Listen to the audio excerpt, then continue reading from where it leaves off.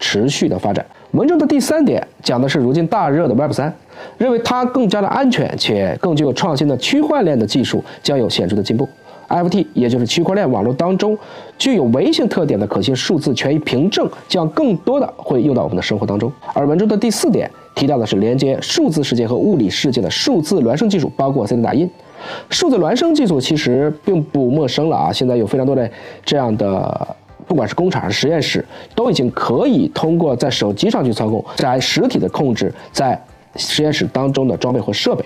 所以，数字孪生可以简单的视为真实世界的一种虚拟模拟操控，可以在安全的数字环境下测试新的想法，大幅度缩减成本。而文中第五点呢，它提到的是生物领域的基因编辑技术，认为它将带来一个全新的面貌，不仅会创造出具有全新特性的这些材料，比如说改善防水性、自愈能力，也可以用来纠正 DNA 突变、解决食物过敏等问题，包括增强作物的抗病虫害等能力。文中的第六点，它提到的是量子计算，包括相关技术的迅猛发展，认为它将比现在带来速度可以快上上万亿倍的新型计算机。当然，如果成功了，伴随而来的，我们一直说，那今天的这个密码是不是都有可能被暴力破解掉？这些加密系统的失效，包括我们现在用的系统的崩溃，这个亟待各方的密切关注，未雨绸缪。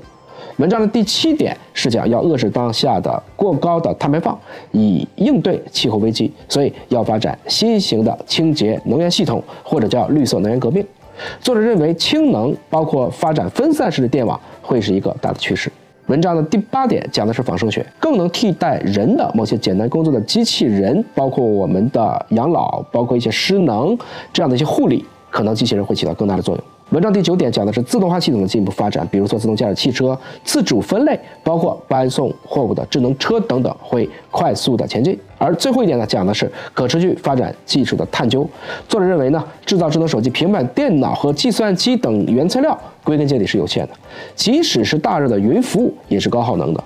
那么对我们这个星球来讲，如何节能且源源不断的可以保证我们的可持续发展，是未来的更加长期的重中之重。因为我们做很多的基因研究啊，比如说，人为什么能爬山？什么决定的？基因，爬山基因。说真的有爬山基因吗？真的有，叫 EPAS1。这个基因阳性就特别的适应高原，耐缺氧。这个基因阴性上去以后就规规矩矩的吸氧，有问题吗？没问题。你说上去吸氧丢人吗？不丢人。有人跟我说我要凭我的意志品质，我说你别扯了，我给你盆水。你进去埋头五分钟，你又不是鱼。我们基因其实没有最优，只有最适。基因跟环境起作用。黔灵山上也有熊猫，对吧？熊猫为什么能吃竹子？你怎么不能吃筷子？什么决定的？基因决定的。对，T 万 R 万，这是一个味觉的受体基因。那这个基因是干嘛的？感受到肉的鲜味的，如果你吃肉没味儿，你还会吃肉吗？不会，就味同嚼蜡了嘛。所以熊猫在长久的演化过程中，这个基因失活了，所以它就算了。因为吃肉不容易的，熊猫要吃肉，它得去打猎呀。熊猫这个身材虽然也还不错，但是你让它去追那些比它更灵活的动物，它也不乐意。久而久之，它的胃肠道里就多了一种纤毛虫，可以帮助它把竹子里面的纤维素降解成它能吸收的糖。但是竹子里面的营养密度很低啊，所以熊猫基本上你们看到它清醒的时候，它几乎都在吃竹子，充分证明两件事情，对吧？第一个，吃素不一定能瘦，对吗？没错吧？啊，没错。再问一个开脑洞的问题：熊猫怎么能拍彩照呢？聪明，还可以呢。除了伸出舌头，还能怎么办？拉开它的眼睑，对吗？看一看它的这个红眼球，和，这个红的这个眼睑也是可以的。所以这就是熊猫。下一个，大象有这么多细胞，大象为什么不得癌症啊？什么决定的？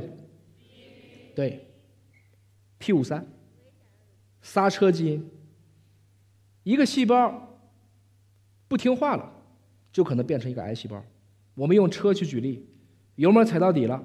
刹车失灵了，这个车还能好吗？一个人一个细胞里只有一套刹车基因，一个 P 五三基因。猜猜大象里面，一只大象一个细胞里有多少套？二十套。所以它能长这么大，它就一定会找到自己的方法，叫做生命总会找到出口。我既然有这么多细胞，我就一定衍生出了配合于这个细胞所产生的这种机能，这也是基因决定的。下一个，我们喝酒为什么会脸红？什么决定的？基因决定的。什么基因呢？其实就是一个酒精基因，这个就叫做乙醇脱氢酶。乙醇发生一次脱掉一个两个氢，它就会变成乙醛，再接着脱就变成乙酸。乙酸其实就是我们说的醋了，低浓度的乙酸就是醋。所以喝酒的能力其实是 PK 每一个人把酒精转化成醋的这一个效率。那从这个意义上讲，比如说你的乙醇脱氢酶挺厉害的，你的乙醇都变成乙醛了，但是乙醛不能变成乙酸，乙醛入血会进入到毛细血管，毛细血管扩张，你脸就怎么样了？红了，我知道贵州有特别多的好酒，酒虽好也不要贪杯哦。接着看，孩子们睡觉为什么会流口水？什么决定的？说完了以后，你们自己都不是吧？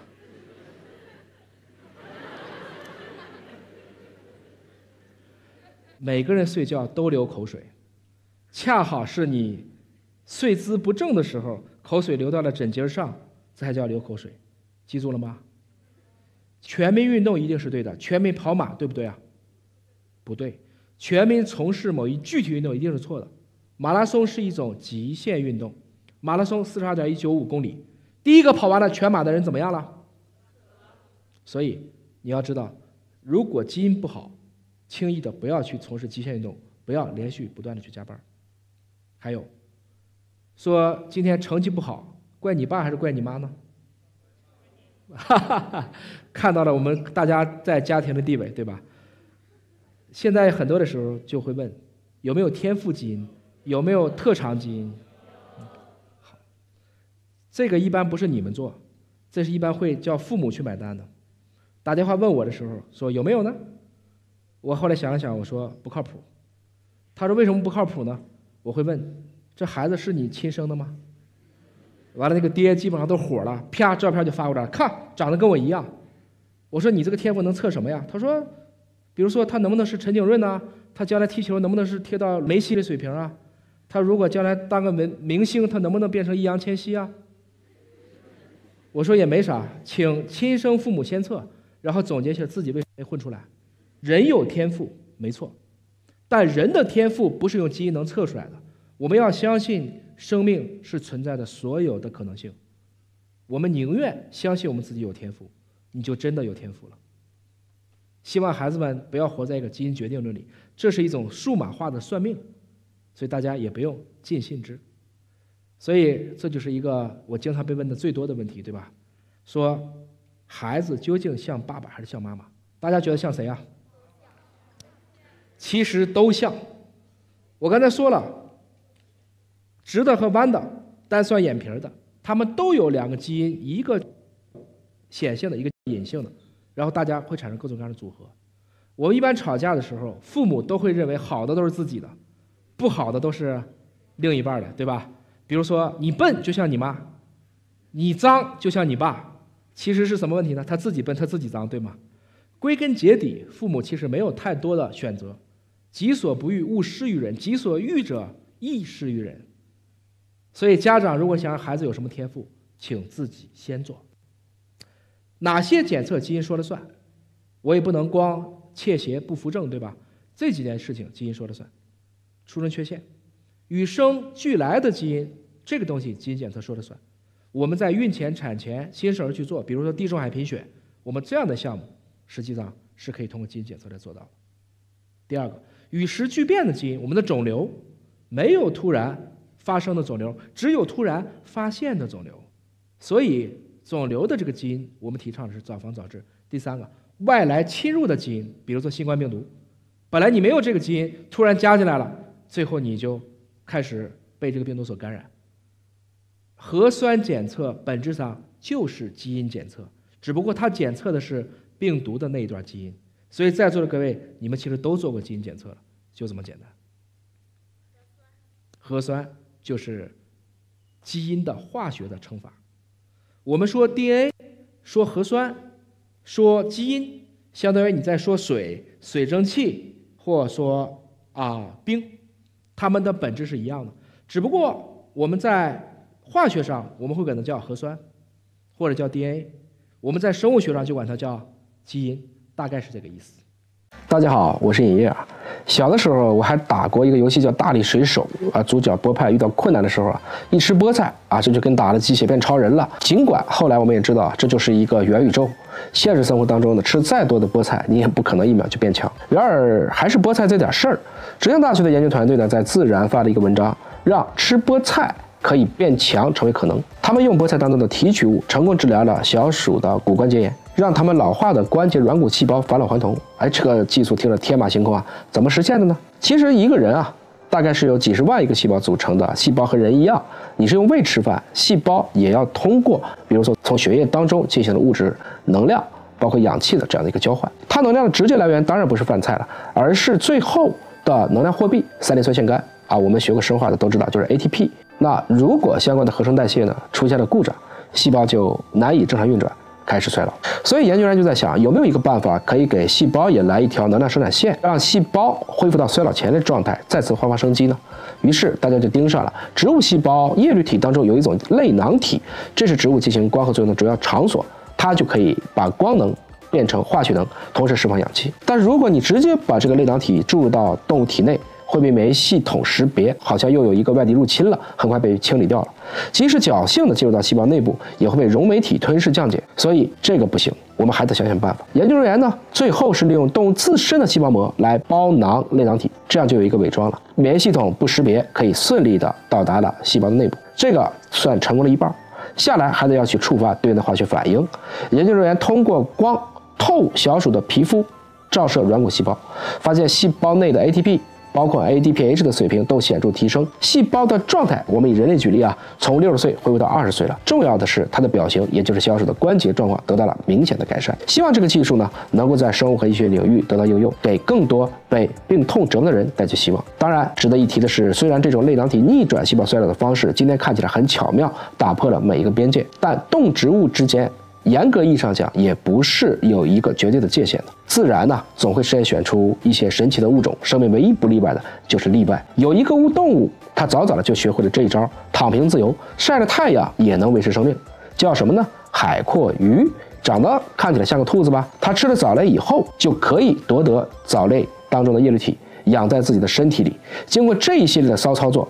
海阔鱼可以在没有食物供应的情况下，最多存活整整一年。它差不多也就是能活这么长。同时呢，海蛞蝓还有极强的再生能力，即使身首分离，也可以再长出一个新的身体，颇有一种我躺任我躺，你能奈我何的蛮横之气。二零一九年呢，海蛞蝓基因图谱的绘制工作由华大完成，发表在了《自然》杂志的子刊上。研究发现呢，它的基因组大小仅仅是五百五十七兆。大概相当于一个人的基因组五分之一或六分之一，但是它再生功能，包括利用这些藻类叶绿体的功能之强大，还是令人啧舌。天地之价，无所不有。我们理解的先进，有可能仅仅是自然界的习以为常。科学不是发明，而是发现。我们的工具越强，我们就会越发的看到更多自然的奥秘，更加的谦卑。我刚才说，尹老师不是一个人上来的，我还带了什么上来？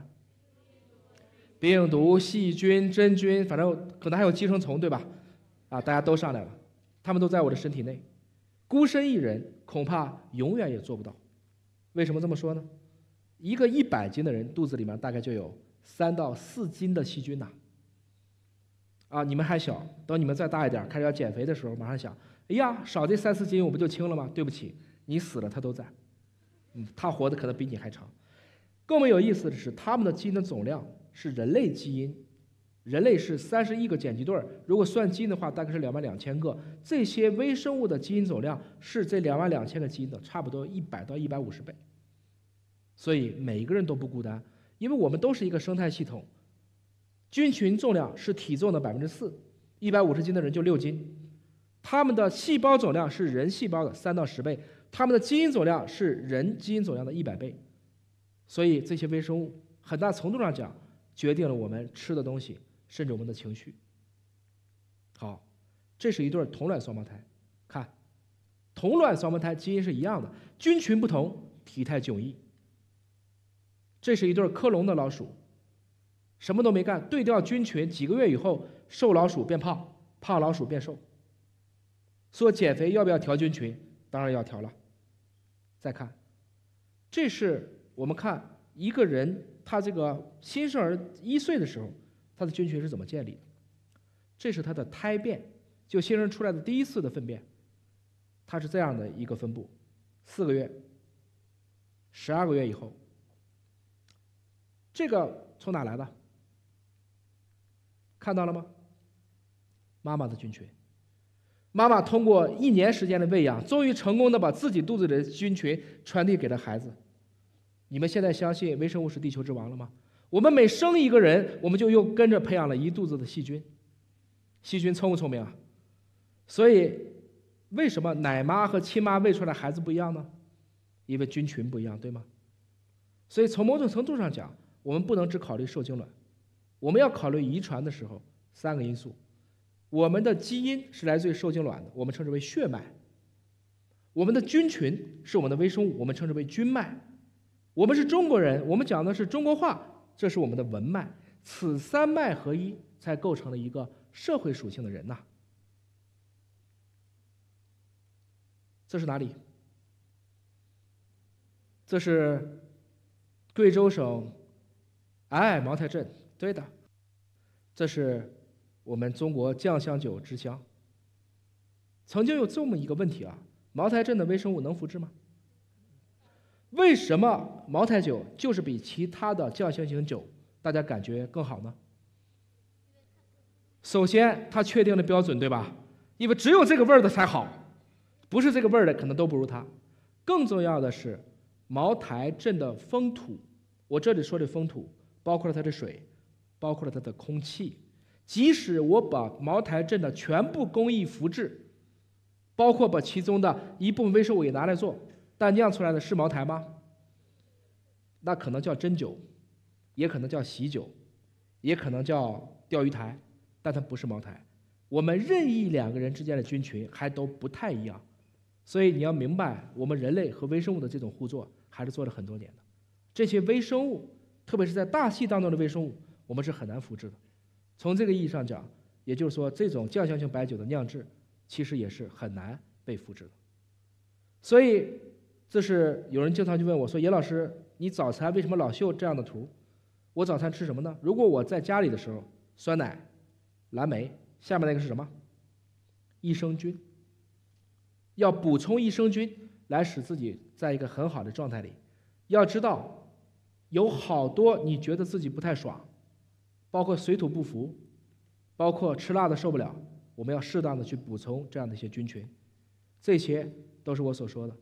我们跟微生物要做朋友。大家好，我是尹烨，今儿给大家聊一个带薪养生啊，都听过带薪休假啊，什么是带薪养生？啊，尹哥也介绍过很多保持健康的方式，今儿啊，尹哥再给大家讲两条简单实用的方法。第一个就是抖腿，第二个就是改变进食的顺序。据不完全统计啊，全世界啊，有三分之二的人都会有抖腿的习惯，但这个抖腿有的时候你是无意识的抖动。尹哥讲话呢都是有文献的啊。前一阵子发表在《iScience》的一个研究显示啊，科学抖腿主要指的是上下抖动，刺激什么呢？就是咱们小腿后侧的这个比目鱼肌。通过这样的一个刺激呢，不仅能使局部的氧化代谢水平有效提高两到三倍，而且啊，因为它是块大肌肉啊。它可以去极大的改善全身的脂质和血糖平衡，甚至这个效果比一些运动还有间歇性的进食还好。久坐族，包括尹哥在内呢也都在开始尝试这个运动了。记得啊，这个抖腿啊要匀速的啊，要受控的，用点力去抖，而且这个累计时长啊，这刚才做实验哈是四个半小时。但是你不要去盲目的追求这个抖的速度，要能够去感受锻炼肌肉的过程。要明白啊，我们有一种记忆啊，号称叫肌肉记忆，其实就是说你慢慢的已经让你的神经系统习惯了。自身关节肌肉力量情况良好的呢，啊，我建议你可以加大一些抖腿的难度，比如说你加负重，绑一个弹力带，让你这个抖腿、晃腿都能够锻炼更多的肌肉群。记住，我们有非常多的肌肉啊，都是在腿部的，大腿、小腿这个肌肉如果好啊，啊，实际上也会减少衰老的。我们再来聊聊吃啊，目前呢，国内外都比较认可的利于血糖控制的。进食顺序是先吃蔬菜，然后再吃富含蛋白质和脂肪的肉类、蛋类，最后吃碳水化合物。这个建议呢，虽然是面向高血糖、肥胖人群，但是尹哥建议啊，我们这些忙碌的，比如说久坐不动族啊等等，也可以参考。它不仅可以保持血糖的平稳，还可以预防心血管疾病、肥胖，减少自身未来的健康风险。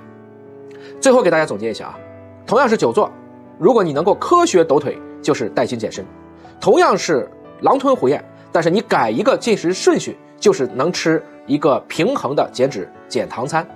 建议大家不妨从今天开始试试尹哥教的这两个小办法，坚持一段时间后，也许会有不小的惊喜。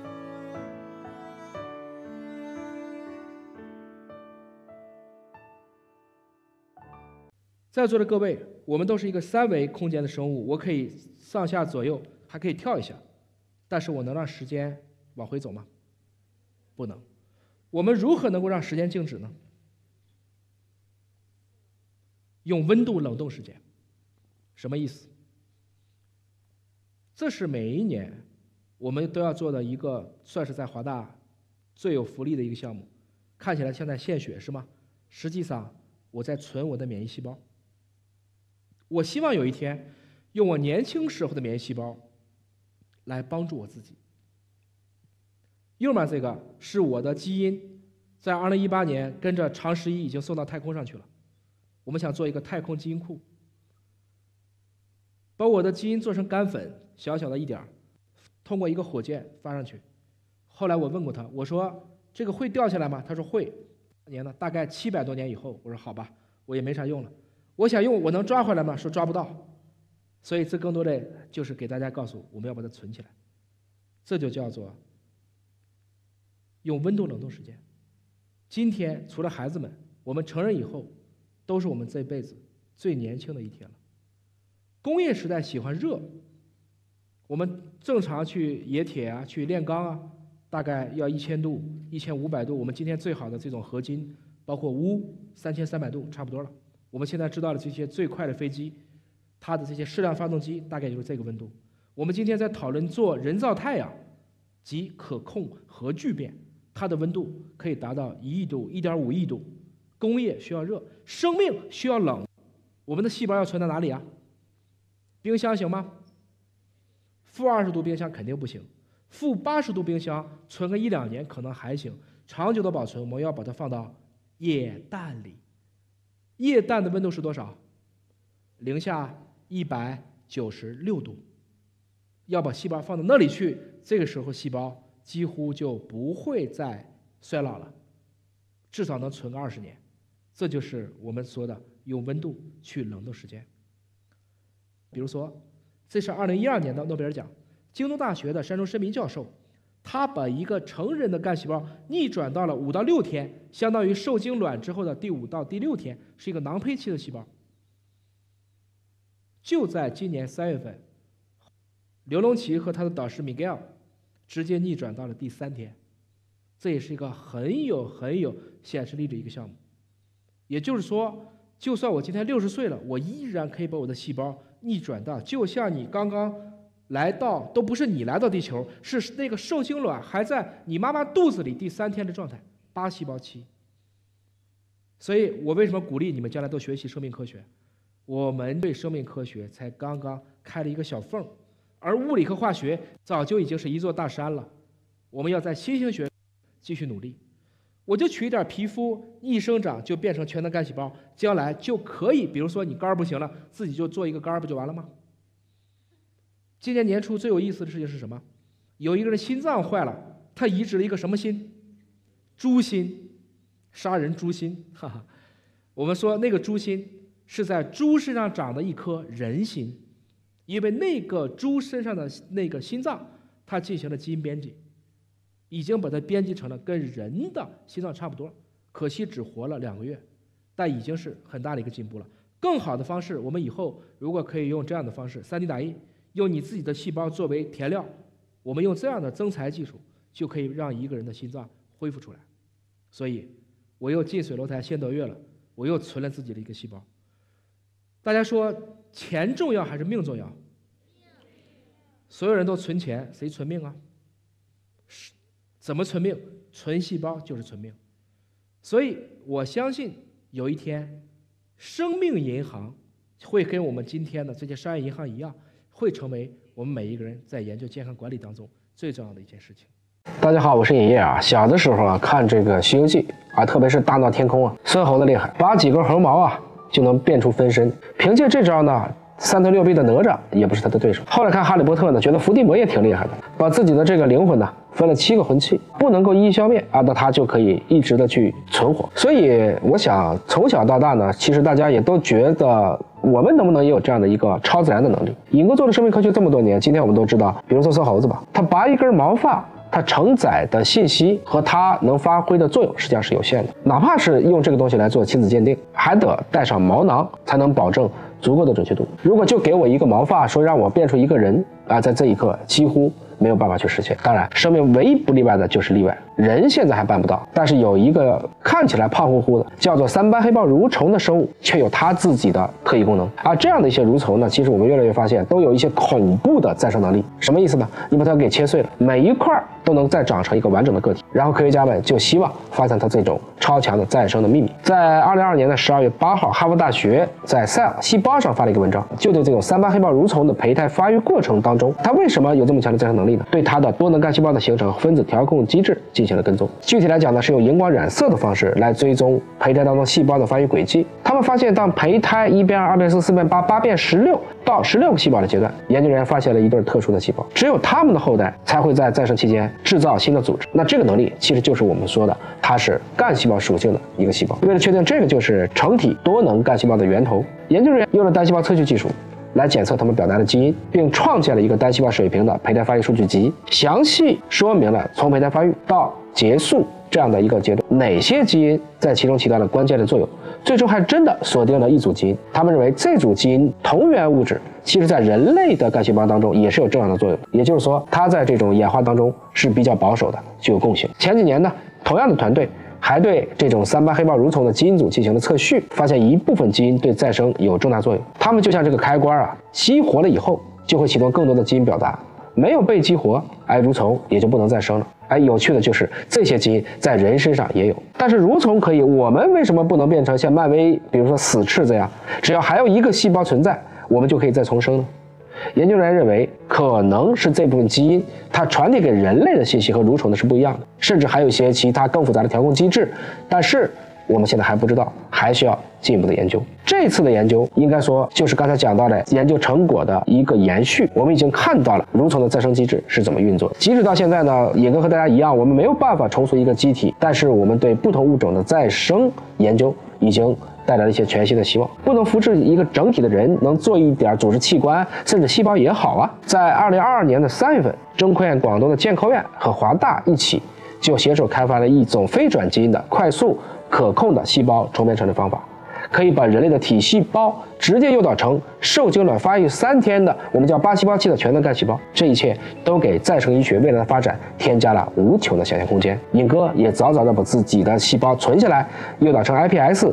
以期有一天再生医学抗衰老当中发挥作用。最后，严哥还想说一句啊，关于三斑黑豹蠕虫的一系列研究，经历了基因测序，再到单细胞测序的两个阶段。华大现在还有个技术叫时空组学，可以在原位观测到这些现象。这一系列的发现都得益于工具的进步。中国科学家、中国的工具一起联手，必将为世界的再生医学贡献更多的力量。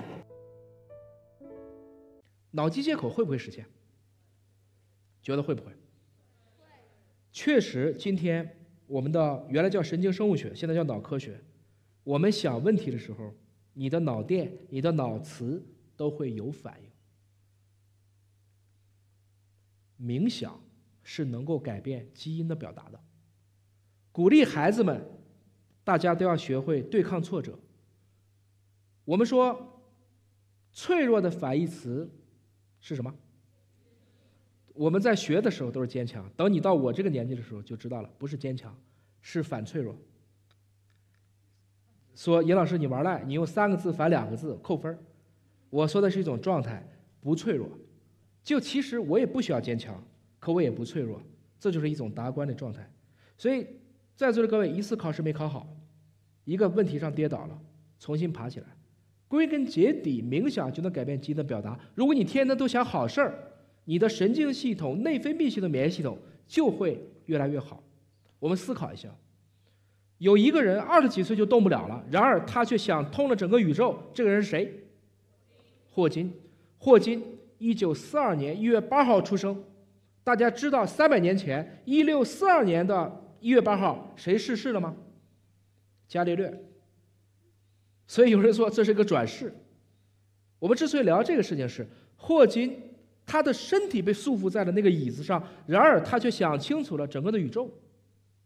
他知道了黑洞原来不黑，他明白了时间简史。所以人类唯一不被束缚的，其实就是思维。在当下的物理框架下，有什么东西能超越光速？思想。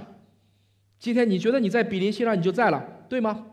所以一定不要忘掉我们人类这种最基本的神性。我们是用大脑才变成了这个地球的，今天看起来是一个最高智慧的这样的一个物种。在美国呢，有这样一家公司出来的时候呢，尹哥就觉得蛮有趣的。我思过在，这是笛卡尔当年说的一句话。那么这公司干嘛呢？就是大家看过这个《寻梦环游记》吧？死亡不是真的逝去，遗忘才是永远的消亡。怎么才能不遗忘你呢？你得把你东西录下来呀。他大概每个人有一千三百个问题，开始问，你就健康的时候就开始答了。生在哪儿啊？叫什么呀？喜欢啥呀？初恋是谁呀？养过什么宠物啊？有没有干过什么坏事儿啊？偷过爸爸钱没？挨过妈妈揍没？就这样的问题，答多了，他就把你这些东西采集，就最后变成了一个 AI 的你。说又过了，比如说一千年。你的曾曾曾曾曾曾曾曾曾曾曾孙子想看你的曾曾曾曾曾曾曾高高高高高高高高高祖父，你就给他打个电话，可以吧？甚至来个视频也行吧？你会发现他这些技术都在，你可以问刚才那些问题。当时还真采访过我说：“尹老师，你觉得这个怎么样？”我说：“挺好。”有什么问题吗？我说：“可能会有一种新的黑客。”他说：“什么意思？这人都不在了。”我说：“我可以删你一个 G 吧，删你两个 G 吧，给我五个比特币，不然删他一个 T。”直到把你的高高高高高爷爷删成老年痴呆为止。有矛就有盾，所以任何科技的发展，它都是两面性的。但是这其实是我更能接受的一种永生意识的永生。比如说，大家觉得孔子是今天的影响大，还是他在春秋的时候影响大？今天吗？春秋的时候自己都不知道往哪去，各个国家来回窜。今天我们大家都可以去背他的《论语》。苏轼也罢，李白也罢，大家不都是这么做的吗？这还是很不一样。啊，有一些我们还是要感谢的，比如说屈原，其实屈原也过端午节的，对吗？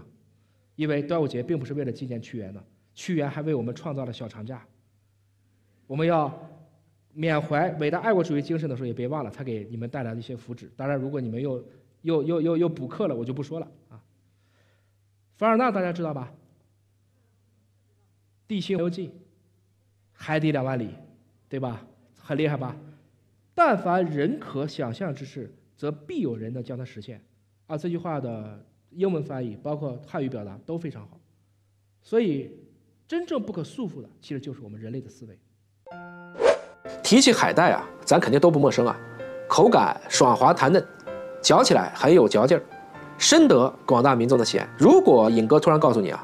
让您这个从小吃到大的食材竟然不是植物，啊，你会不会觉得很惊悚？我们之所以把海带视为植物呢，就是在于它跟其他的植物呢，至少看起来高度相似，都能够有光合作用，而且还都有一个根，固定生长的根状物。但是从海带的演化过程、生理特征，还有自身细胞结构来说呢，它跟我们日常所见的木本和草本植的传统植物差别巨大，并没有真正的根茎叶，也没有维管束，基本上就是一个小根，然后就一片大叶子了，对吧？大概就这个样子。细究起来呢，海带之所以不能被视为植物啊，根源在于它跟某些动物的关系要比跟植物的关系近很多。今天对海带的划分。首先，它不是严格的植物，这个统一了，但具体是什么还是很复杂，意见不统一。所以在两千零五年呢，植物学家另辟蹊径，把这个海带呢归入新增的囊泡藻界，也就是一种拥有着植物才有的光合作用的生和生。国家地理杂志当中就是这么写到的，说它属于囊泡虫界当中的绒边类及不等鞭毛类。但是到了二零一五年的时候呢，基于基因组学的研究，又有科学家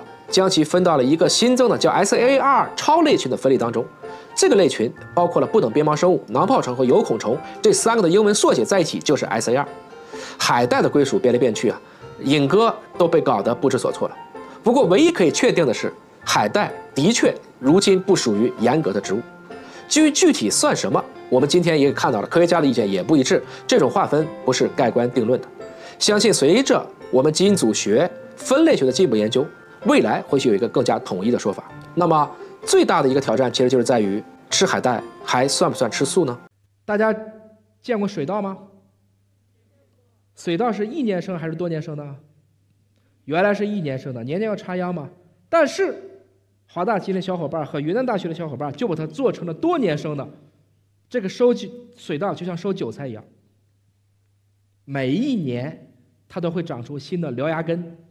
这个简单了吧？就不用再犁田耙田了吧？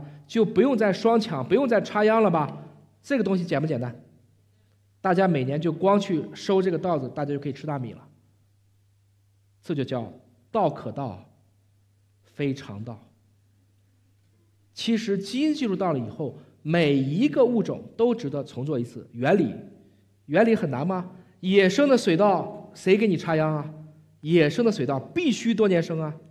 如果野生的水稻自己不能做到多年生，它怎么混呢？我们只不过用这样的杂交技术，给它找到了一个好的亲本，让我们的栽培稻变成了多年生稻。这是一棵什么树？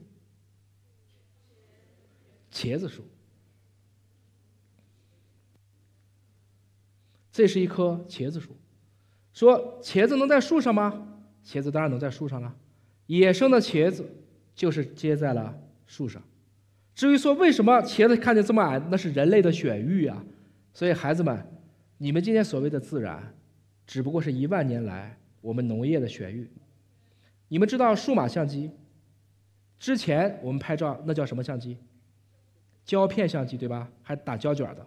很多人在开始的时候就告诉我说，数码相机就不如胶片的，因为胶片更传统。知道我怎么回答的吗？要这么说，摄影就不如绘画，对吧？没有发明照相之前更传统吧？绘画就不如不画，因为人类根本就不会画画。所以什么叫传统？大家把时间维度拉长，你就明白了，没有什么是传统的，我们都是站在了巨人的肩膀上，不断向前去演进。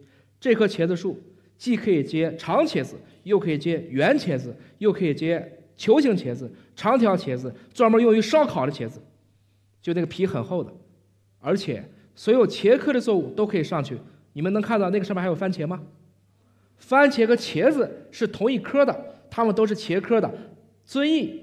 最著名的遵义红指天椒也可以上去，我们就把地三鲜变成了树三鲜，甚至上面还可以去接烟草，去接酸浆。这一棵树，如果在深圳地区有一个好的条件，一棵树一年产的茄子量是四千斤。茄子是一个挺好的蔬菜，从隋代以来从印度传过来的。其他的这些番茄、土豆都是大航海时代从阿迪斯山来的，唯独茄子是印度过来的。隋炀帝时期，我们称之为管它叫麒麟瓜呀。那严格意义上讲，茄子也是外来的物种了，这传统吗？所以，很多人就在问我，尹老师，什么是技术？技术啊，在过去异想天开，在今天勉为其难，在未来习以为常的，我们管这样东西就叫做技术。一个人什么叫老了？其实你想一想，真正我们说的老，就是在于你听到一个新技术，你已经不感兴趣了。科学史上有这么一段话：一个人出生以来遇到的技术，你会觉得这个东西本来就有；二十岁时候遇到的技术，你会积极探求；四十岁时候遇到的技术，你开始将信将疑；六十岁时候你遇到的技术，你开始坚决反对。大家觉得是不是？某种程度上讲，我们所谓的技术，我们讨论的技术，就是希望大家都能够保持对技术的、对科学的这种敏感性。只有这么做，你就不老。我们说的老，不是脸上已经有皱纹了，而是你不接受新知识了。活到老，学到老，终身学习，才能够让每一个人他的状态更加的年轻。当然，已知圈越大，未知圈更大。我们虽然崇尚技术，但不能唯技术论。任何技术，包括生命科学，他们不能解决我们的所有问题。特别是我们做生命的时候，一定不要忘记了道德、伦理、宗教、文化和法律。毕竟，没有科技的人文，可能是愚昧的；但是没有人文的科技，一定是危险的。我希望我们的孩子们将来都能明白。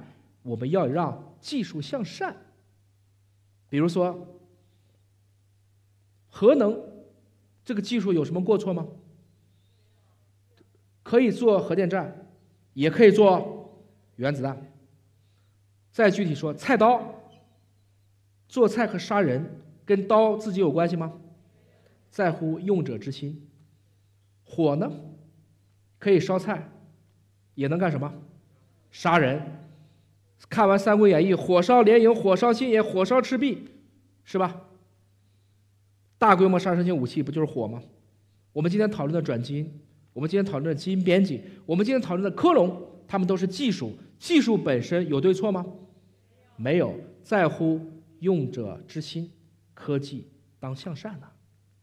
生命是由细胞组成的，当然不是所有的细胞它们的寿命都是一样的。根据科学家们的不懈努力，现在你要问我细胞一共有多少种死法，我尝试的来总结一下，至少可能有十多种。月有阴晴圆缺，细胞也有生老病死。我们每一天都得益于如此精密的人体机器稳定有序的工作。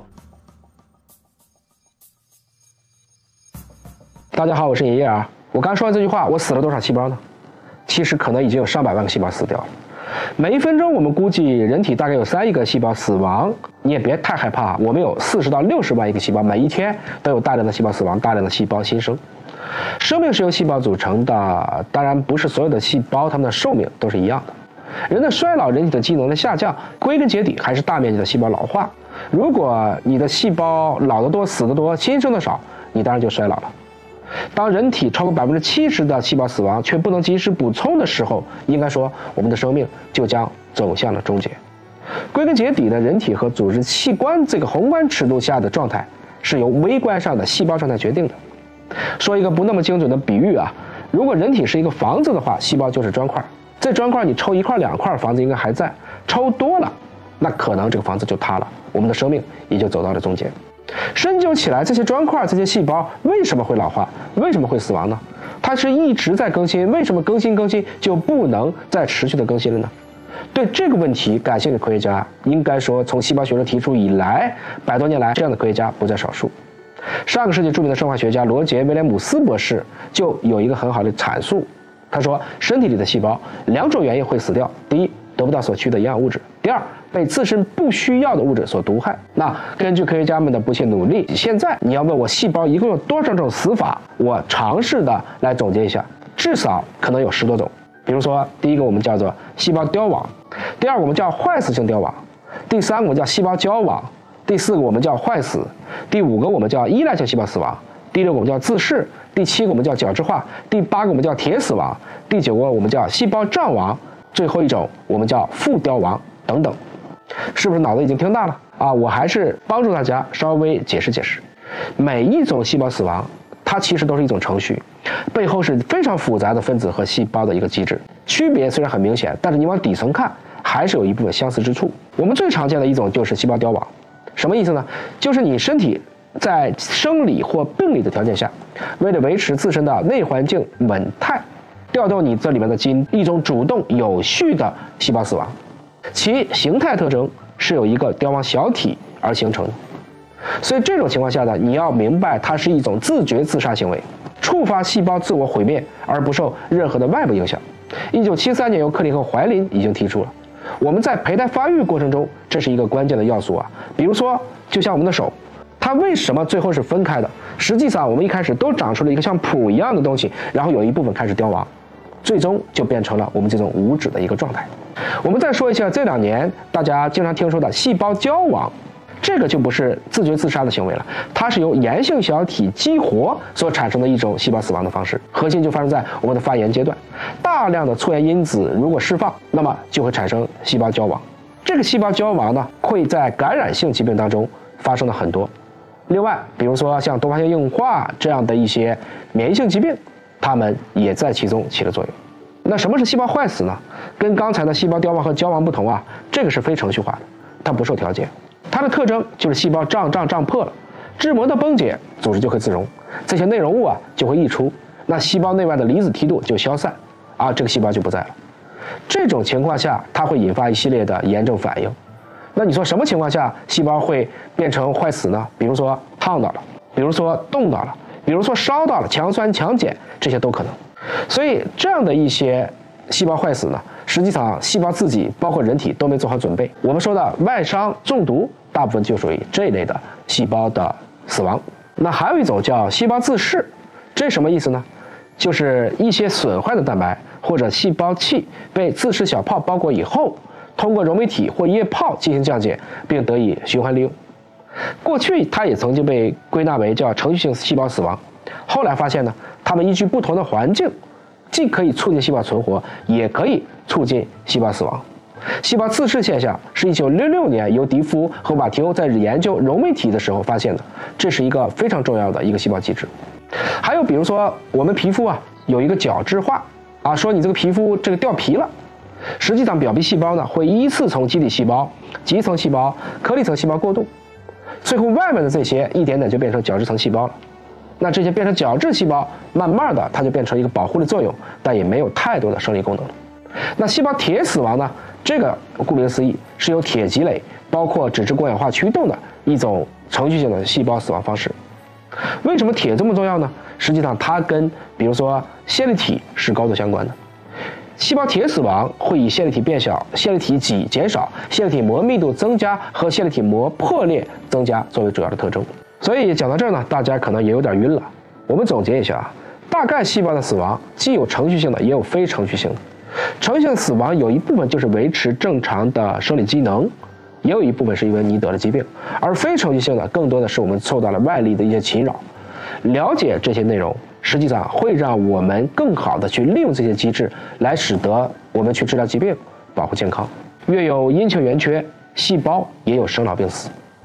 我们每一天都得益于如此精密的人体机器稳定有序的工作。比如说这一刻我才能讲尹哥的这段科普，你才能听我的这段科普。归根结底，我们是希望让你宏观感受好的同时，每一个细胞的微观感受也会好。进而，我们对细胞了解的越多，对基因掌握的越清楚，我们就能有更加健康、丰富的预期寿命。生命科学之美。什么是生命科学之美？首先，美吗？这个景色美吗？天地有大美而自不言，庄子之北游。其实自然的美就是很美。我们人当然也可以创造出美，但是真的美，有的时候早起半个小时看看日出，晚上看看流星，它都可以很美。这是一个天地的大美。这些物种们美吗？有趣吗？万物各得其和以生，各得其养以成。荀子·天论。我不希望有一天我们的孩子们最后只能在动物园里看到他们，他们应该有他们自己的栖息地。地球上不能只有人类，把其他的动物都圈养起来，我们才隔离封闭个十几天你就受不了。有些动物从生下来到最后都没有离开实验室，大家觉得这公平吗？他们是不是一样的人？其实他们是一样的人。生物学上智人只有一种，不管你是白种人、黑种人、棕色人种，还是我们黄皮肤的人，因为世界之所以美丽，是因为没有放弃任何一种色彩。要知道，你觉得这一窝猫不一样吗？你会觉得，哎，你是黄种猫，你是白种猫，你是狸花猫，你会这么分吗？不会吧？它们可能都是一个猫妈妈生的。所以，用肤色定义人种，就如同用毛色定义猫种一样可笑。大家穿的衣服不一样吧？有问题吗？没问题吧？各美其美，美人之美，美美与共，天下大同。对美的了解，大概费孝通的这几句话是说到极致的。美美与共，严格意义上讲，其实就是我不定义何为美，丑也是美，美也是丑。这是什么？什么？这就是在你们这个地方的化石。你觉得它有这么大吗？这个东西只有二十来厘米，它叫做贵州龙。对了，贵州龙是龙吗？首先说什么是龙？什么是龙？我们说的龙和西方说的龙是一个东西吗？西方的龙叫什么？英文叫什么？Dragon。Dragon 是咱们东方的龙吗？我们的龙英文叫什么？龙吗？因为那就是你的东西，你还非要给它翻译一下，它是不一样的。西方的龙更多的是一种怪兽，我们今天的龙代表了一种风调雨顺，它是一种我们对自然界的一种崇拜。大家都在贵州，贵州的生物多样性，可能除了云南，它就是最好的之一了，真的是好啊！我希望大家都能够去家门口看一看。贵州省已知的生物种两四五四七种，两万五千种，丰富度肯定是全国排前面的。动植物总量全国排第四啊，野生动物全国第三，植物物种全国第四。没事儿，大家真的应该带个手机软件就出去认数去。贵州历史上是海洋，大家知道吧？它是古生物的天堂。大概两亿年到六亿年这个期间，寒武纪大爆发以来的这一段时间，你比如说我们这一系列的海百合呀、贵州龙啊，它们都有很多的化石，大家都应该见过吧？小春虫的发现，其实在一定程度上讲，对于寒武纪大爆发还都是有些对抗的。如果你没看过海百合的化石，你知道有个青岩古镇吗？那里面就有一个关于海百合还有贵州龙的这样的一个化石馆，大家可以去看一看。贵州也是一个古人类的主要发祥地之一。我们最近一次对中国，我们讲的是有百万年的人类史、一万年的文化史、五千年的文明史。所以，贵州的这个普定川洞文化，它叫做亚洲文明之灯。还有一个跟北京周口店齐名的黔西的观音洞，叫做史前文化的第一乐章。如果大家比如说不能去别的省的地方，在自己本省旅游，也可以去这些地方来看一看。然后你看喀斯特地貌里边有这么多的化石群，还有鸡窝寨生物的焦化石群，我这里都标出来了，大家都可以请自己的爸爸妈妈，或者大家已经成年可以出游了。都可以去这个地方去看一看考古这些东西，包括看一看这些生物多样性。其实达尔文也罢，林奈也罢，他们都是通过这样的方式，逐渐的对生命建立起来的觉知。包括这是一个很有趣的，大家说先有鸡还是先有蛋呢？这个问题是贵州回答的，就是这个龙鸡球化石。它假定所有的物种都是某一种鸡的话。它们共同的祖先就是那个蛋，所以是先有蛋。通过这个问题来回答。其实古生物史从寒武纪大爆发算，大约就是六亿年。那这六亿年经历了若干个纪元。那在这每一个环节，我们不能只盯着恐龙，也要去看一看这些千奇百怪的东西，包括昭国洞遗址，包括。我们说的这个贵州龙，贵州龙不是龙，它是一种爬行动物，甚至它也不是恐龙的一种，它很小。大的贵州龙几十厘米，小的贵州龙只有几厘米，甚至不到一厘米。但是在当年，这个物种肯定是很多的，不然不能今天有如此之多的一个化石。它通过这些化石，来给我们看到了在贵州这个神奇的土地上。这些曾经的沧海桑田的证据，包括贵州的中药库。我们今天在药用植物是一个很关键的点。贵州现有中药材的品种资源四千八百种，占到了中国的多少？百分之四十。啊，希望大家都能明白，绿水青山就是金山银山，啊，我们应该怎么去利用它、保护它？说严老师今天为什么扩展这么多？我最近看了高考题，考的太综合了，给你们多扩展一下你们的这个知识面，包括贵州各种各样的森林，特别是大面积的黄山林，啊，这个其实都非常的美。我专门看了这些对应的照片。这是尹哥最感兴趣的，就是我们有三百多种贵州特有的这个野生动物资源，比如说黔金丝猴，比如说黑叶猴，啊，这些灵长目都很漂亮，包括冷杉、木兰、掌叶木、红豆杉，啊，这些物种其实它的辨识度都非常高，都建议大家如果有机会寒暑假的时候都应该去这些对应的保护区也罢、森林公园也罢去看一看。植物其实比动物要难认很多，对吧？很多人认植物，基本上只认果没错吧？还有一部分人认花真正牛的是认叶但是现在有软件对吗？随便拍一下我们就知道是什么，所以这比以前可简单太多了。梵净山报了世界文化遗产，所以贵州啊现在是全国世界自然遗产最多的省份。你们去过梵净山吗？还有还还有没去过梵净山的啊？那也是一个自然生活的一个宝地。黔灵山你们都去过吧？黔灵山现在最多的动物是什么？黔灵山的猴子是瘦猴还是胖猴？瘦吗？胖。他们会不会抢人的东西啊？会不会抢带糖的饮料呢？最近一次普查，野外的猴子有将近百分之八十的猴子处于糖尿病或糖尿病早期。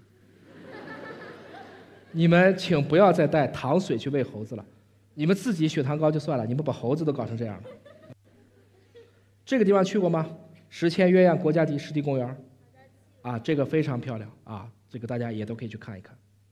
好，认知生命科学重点是认知什么？我总结的，大家想一想，第一个，出去看一看，探索自然的宏伟，感受人类的卑微，然后。去格物，了解造物的神奇，认知众生的平等，然后你就会有悲天悯人的共情，超脱生死的达观。希望大家能如此的去面对生命科学。我们明白，人类终究就是非常平等，一个卑微的物种。保持谦卑，实际上是让我们可以在这个蓝色星球上走得更好。一九。六九年七月二十号，阿波罗登月。五十年之后，这是 NASA 美国的宇航局又给这张照片。我们还会回到这里，但是我今天先给大家推荐一条鱼，这条鱼的名字叫做提塔利克鱼。孩子们跟我说一下这个鱼的名字，提塔利克鱼。再说一遍，希望你们能记住，这只鱼啊，用自己的双鳍爬到了陆地上。它放弃了海洋，它收获了大陆和天空。这是什么？哥伦布发现了新大陆。这是鱼类的一小步，却是脊椎动物的一大步。没有这条鱼，今天这个报告都没有，因为我们没演化出来呢，对吗？这个鱼很了不起。当然，我们可以半开玩笑的讲，据说这是一只完不成家庭作业的鱼，是吧？被妈妈骂了一顿。在科学上，在家庭教育上。我们人类进步的本质是什么？下一代不怎么听上一代的话，确实如此。我们既要继承，又要发扬。我们是通过一代人比一代人更强，才使得人类向前去进步的。所以各位家长，有的时候孩子不听话，耐心听一听，他是在跟你讨论一个问题，还是在发脾气？我们才能够帮他建立起一个正确的对自然的探索观。所以。我其实特别喜欢的就是给孩子们讲课，科普这个事儿吧，既赋能自己，也照亮了别人。所谓猛将必取于卒伍，而宰相必发于州郡。如果我们要让这个民族能够决胜生命世纪的话，大师必兴趣于孩童。如果说生命是一组代码，我相信人类的代码当中有爱。我们所做的事情。就是将这份爱，去永续传递。谢谢各位。就在一月六号，伦卡奈单抗拿到了 FDA 的加速批准上市。对老年痴呆的治疗来讲呢，还是得先打开一扇窗。至于说，不管是伦卡奈单抗，或者是其他的我们看到的这些管线里的药物能不能扛起大旗，它的假说到底能不能站得住脚，我们还需要更多的来自于真实世界的佐证。